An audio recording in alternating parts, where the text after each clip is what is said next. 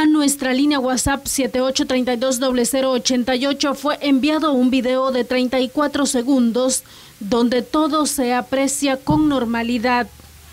Desde el interior de un vehículo el conductor se da a la tarea de grabar y se logra ver a un motociclista haciendo zigzag.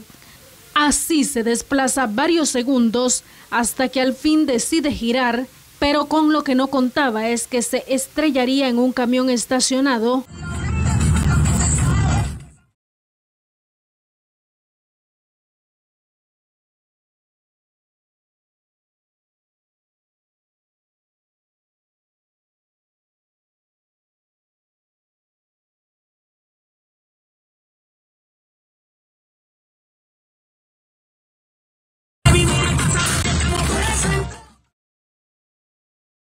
Acto fue tan fuerte que testigos tuvieron que llamar a los bomberos para su pronto auxilio. En Crónica TN8, Dalila Álvarez.